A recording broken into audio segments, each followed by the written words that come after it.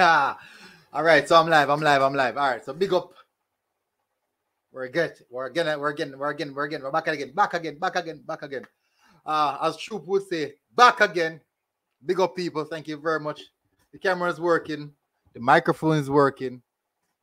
You guys are seeing me. You guys are hearing me, and also you guys are here, which is a big deal. So, guys, I am this close to reaching 8,000 subscribers. 8,000 subscribers. I'm I'm really really wondering if I can reach 10,000 subscribers before the year end. I'm wondering, is it possible for me to reach 10,000 subscribers before the year end? I know for a fact that my socials, like my Facebook, my Twitter, and my Instagram, have grown massively um throughout this year. Massively, regular content, regular uploading. Um, most of the stuff on my on my socials going viral retweets, a lot of retweets, and also on Instagram, a lot of like, a lot of sharing. So that is good. But guess what? Guess what's not what's happening?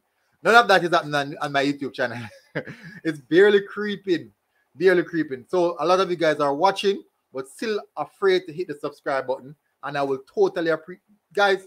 Do you know how big of a deal it is for you to, to hit that subscribe button? It's a massive deal. It is a massive, massive deal. So do me the favor and do it. Let's grow the Jamaican platform. People who are Jamaicans, let's grow our Jamaican platform.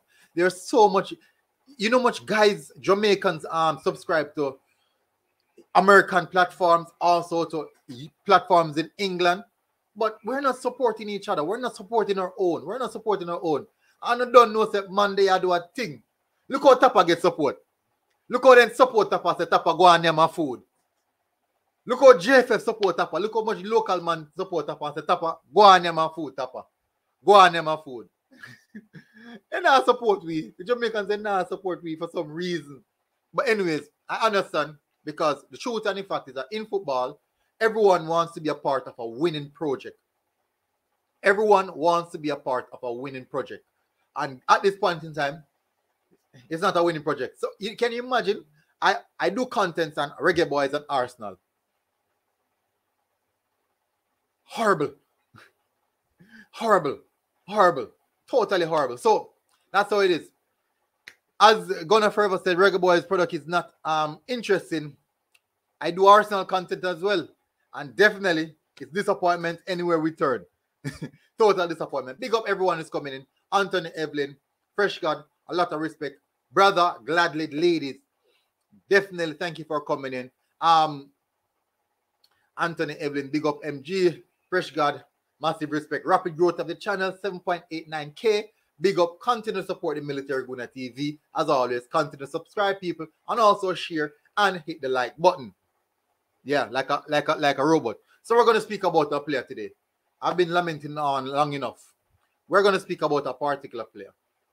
Kemar Taxi Lawrence, people. Now, it intrigues me how we really look past Kemar Taxi Lawrence but yet still on every single match day, Kemar Taxi Lawrence is one of the first name on the team sheet. One of. Now, Taxi is a particular player that we can say that is really, really competent, extremely competent, extremely competent in regards to being present, fitness, delivering. No, I see a lot of people are talking about other players making excuse for other players. But this player is one player that I've never heard anyone made an excuse for because I believe that he is Mr. Reliable. He is Mr. Reliable. He has so much tools in his bag. Dead ball specialist, set piece specialist, um, crosses. He, do, he despite it, he doesn't really cross often, but he has so much tools in his locker. So much tools. So, and it's quite intriguing the type of person he is, he is individually off the pitch. Now, if you should look at look at players and you should hear reports coming out, there's so much players that you can identify it. This man is causing problem. This man is doing that. But Kemar Taxi Lawrence is one player that you can hardly hear anything negative or any controversial topics or opinions coming out about. You can never hear that. He's always present. He's always present. No, people, this will be a long stream. yeah, this is this this will be a long stream. I'm going to say that. Maybe 15, 20 minutes maximum. Yeah. No, I'm going to have a look at um, Tax Lawrence over the time period. I'm going to look at Tax Lawrence over the time period. I'm going to show you guys something. I'm going to show you guys something. No, for the past 30 games, so these 30 games comprise of Kemar Tax Lawrence um, performance at um, Toronto FC. Every now and then, like every other player, like every other player, I would say, he would drop a stinker. He would drop a stinker. And I believe that that's just a norm in the world of football, like every other day. But in the Jamaican colors, I can't remember when last I have seen Kemar Tax Lawrence dropping a stinker. Now, what I'm going to do, I'm going to do a, a small review, just a small review of this World Cup qualifiers campaign of Kemar Tax Lawrence. Small review. Just give you guys some insight of the World Cup qualifiers campaign. Now, I'm going to take notes while I'm, I'm doing it, people. I'm going to take notes. So let's go. Let's look at his performance. So this is Kemar Tax Lawrence performance against Mexico. This is Tax Lawrence against Mexico. Come on, people. Massive respect. Thank you guys for coming in. One is in the house. Let me run through some more. Um, big up one. Said big up military gooner. I know you have a couple new videos and we'll watch them soon. No problem, bro. Um, take your time. You are very, very busy. You're always on streams, bro. No problem. Big up Shane Rodney. Gonna forever say that hard with Arsenal AFTs where most people look, but um go and do the work. Massive respect, bro. I will definitely do continue to do the work. That's just a part of it. That's just me. Um, I love it, so I have no problem doing it. Um, Roger Sharp said, "Up military, more blessings. Your thing and grow, General. Give it time. Definitely, bro. I am cool as a cucumber. Um, I can clearly remember my days of streaming with like two persons on, and I'll do like I'll do like a two or three two hour streams. I'll stream I'll stream like even three times for the day with only three persons watching. Um, let me, let me tell you guys one of the, my consistent. So Barnett, Barnett is one of my most consistent um subscriber. This guy has been here from day one. Fresh God, big up, like up the live as you enter, share up the live with your friends and family. Invite them to join the Military Gooner TV. Thanks for the continued support. Massive respect, Fresh God. And as you know, Fresh God, one of our moderators doing moderating work. doing moderating work. And it's a slow night. No, I'll be doing my preview tomorrow, guys. I will be doing my preview tomorrow, guys. I'll be doing my preview tomorrow, guys. So you can look out for that one. And that one will be early in the morning, actually. Let me run through. So, um, team over the, um drive into entertainment said we're gonna make it to the World Cup, man. I would love for that to happen, bro. True, he has some poor performance over the years, but most of the time he delivers when called upon. Aaron Errol Garden said, I really don't know what to say about the game. It's like playing primary school football. The game was poor. Jamaica play like they don't know the game. Yeah, definitely. Um, so Sosa said, um, up military world class pundit in two years. And in two years, in two years. Sosa, better believe it. No, you have some massive, some huge platforms. I'm talking about with hundreds of thousands of, of subscribers. They are watching my channel. And I know for a fact, I got the information. They are watching my channel. Members of the same JFF is watching my channel. So definitely And and not world class as yet. I'm not world class as yet. Um El Madrid reggae boy, big up, bro, big up, massive respect. No, uh, let me let me. You know, I'm gonna drop the link. I'm gonna drop the link. I'm gonna drop the link. I'm gonna I'm gonna drop the link. Definitely, I'm gonna drop the link. Makes no sense. People smash the like button. People smash the like button. Um, formerly my spin on the ball, now El Madrid. All right, so let's get back to Taxi Lawrence, people. Let's get back to Taxi Lawrence. He's the sole reason why we're here. This video is like uh I'm not oh yeah, I almost messed up that. this video is just a, a video out of the blues. Now we're going to analyze Taxi Lawrence's performance against Mexico. We know in that game that we didn't have much possession, but Taxi Lawrence still came out with a 7.0 average match ratings, which is quite high. Which is quite high. No, he did some he did some some of the basic stuff um correctly, and he also did some some stuff that can actually impact the game. For example, normal the basic stuff, touches, clearances, um significant eight, um tackles, dribble pass zero, ground duels he won hundred percent, aerial duels he won also hundred percent with that, and only lost the ball nine times. He was fouled also one. He didn't commit any fouls throughout the entire game. It could be a fact that he was just not couldn't get close to any player. Um, passing accuracy 65%, which is quite low, but he made one key pass. He attempted three crosses, two was completed, three long balls, one was completed.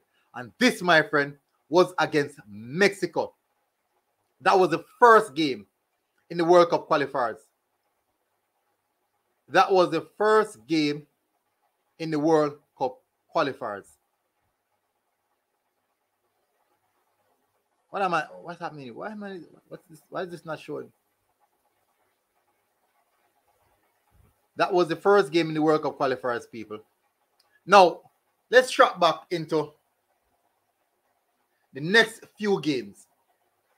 In the in in in the um the the Panama game, he didn't have such a good game in the Panama game, and we all know that. But there's one key factor we should highlight. One key factor we should highlight. I'm brother, I'm glad he's coming on, but it's not working. It's not, it's not, I'm not seeing it's saying device not connected. There's a few key factors that we should consider. Um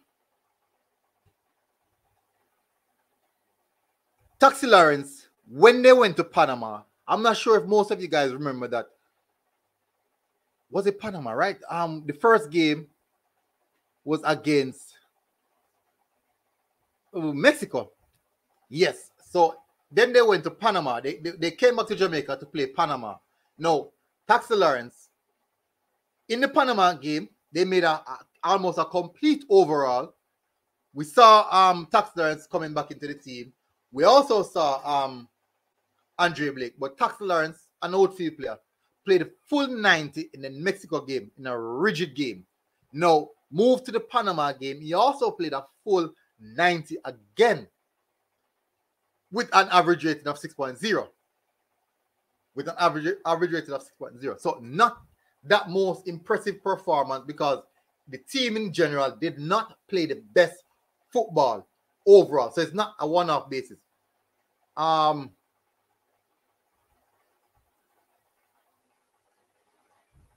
No problem, um, brother. Um, gladly, no problem. I see it's saying that um device not connected. That's what it's saying. No problem. Sorry about that, bro. Ooh.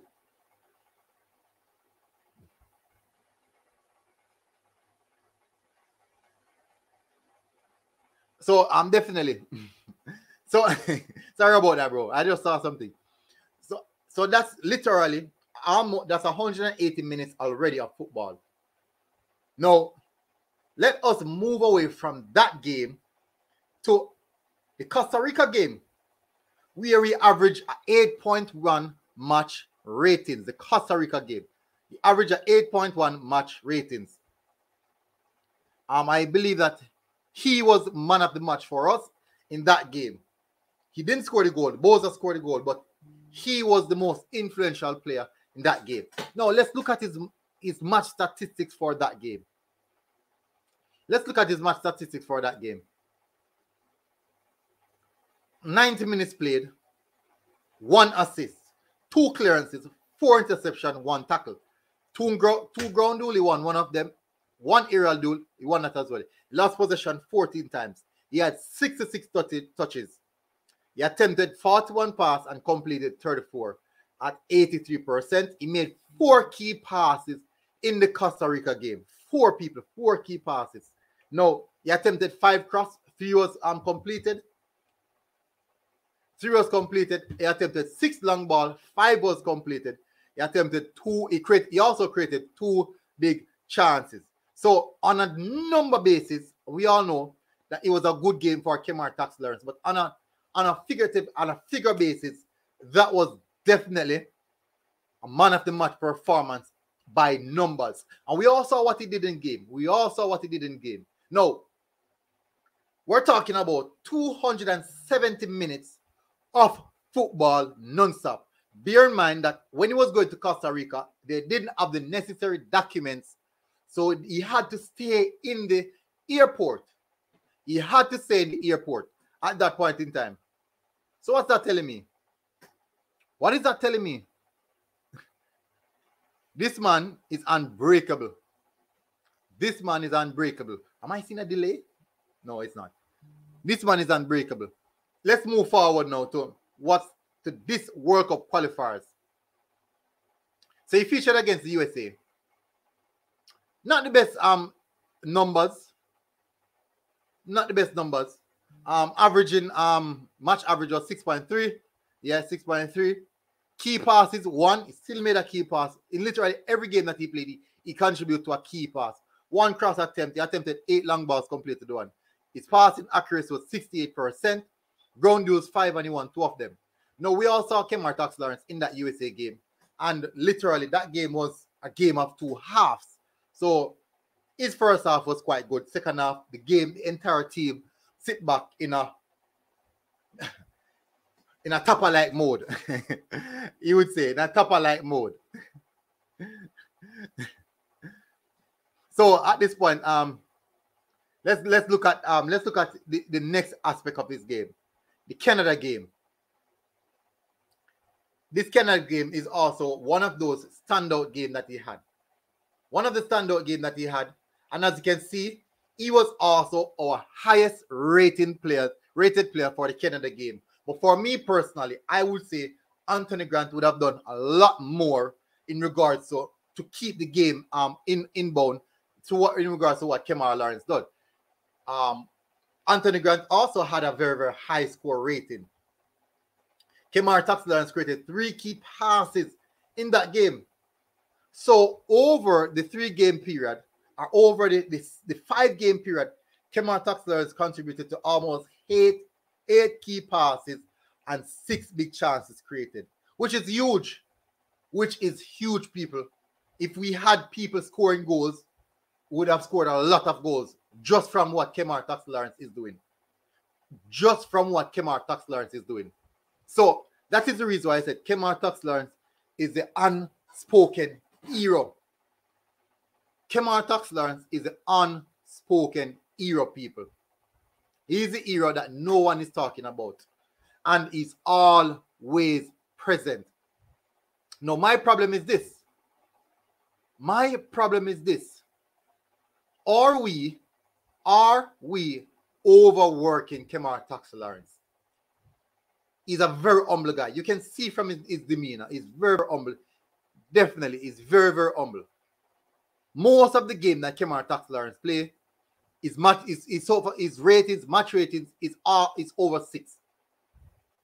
He tend to be in the seven region. Over these set of games, he averages literally about 7.3 over these sets of game. Kemar Tax Lawrence is the unspoken hero. He's always present. And guess the one of the biggest factor in this is we cannot afford to lose Kemar Tax Lawrence at no point in time is the only left back we have available.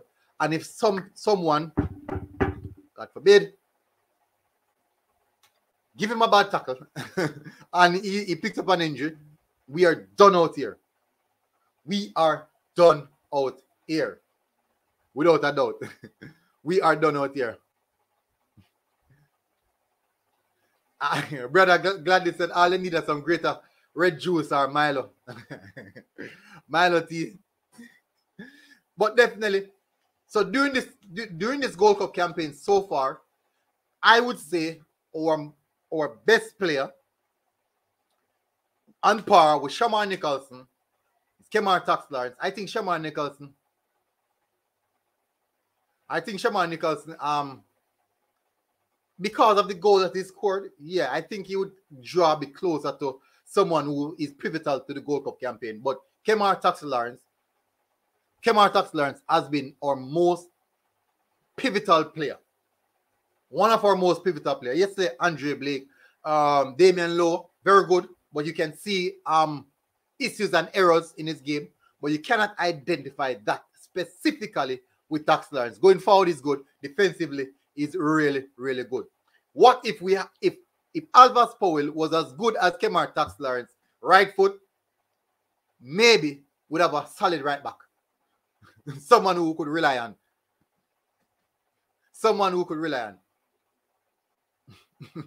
not not to disrespect Alvas Powell because you know, but definitely too many um, errors.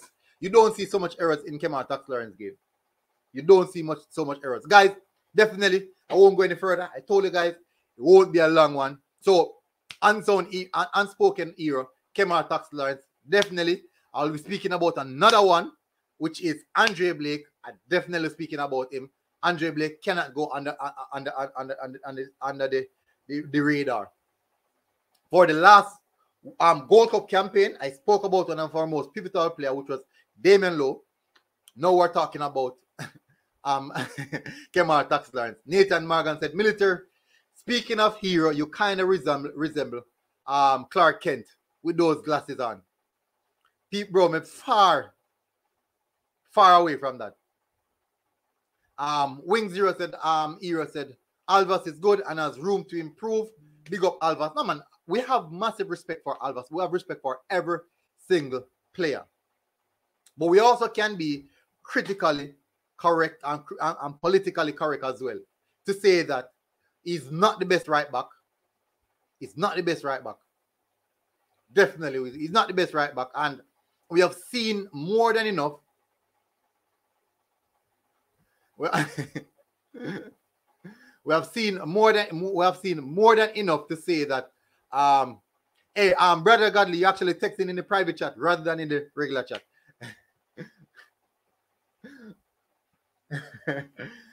Shooter gonna say the black the black Kent.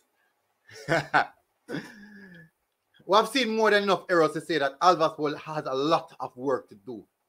He has a lot of work to do. When we can look at Kemar Lawrence and say he definitely complements how he plays and how he operates. An unsound hero definitely a very, very good and quality player. Now, as you can know, his, his market value is about almost 2 million pound. That's quite expensive. that is quite expensive. I was purchasing taxi in, a, in, in FIFA, in my FIFA 2022. And I'm telling you, I paid a big buck for him. I paid a big buck for him. But anyways, massive respect to you guys. Definitely. Um, I'll talk about it. Good. Nathan Morgan said Fisher played well last game. Yes, Fisher had a good game. One of Fisher's best performance. Definitely, I'll, I'll, be doing a video on that. Massive respect to you guys who's coming in. I know you guys it's getting late. Um, Ryan LFC will be doing an interview, an exclusive interview with um uh I who my word, Craig Craig Butler with Craig Butler. My word, it slipped me. So guys, you can go definitely and go and check that out. It's coming in at 8:30 our time, and I'll be watching that quite soon as well. So big up people, massive respect. Thank you guys for coming in. And definitely I'll see you guys again. Peace out, people. Big up, big up, big up. Enjoy the rest of your evening. Tomorrow, I'll be doing the preview tomorrow, people.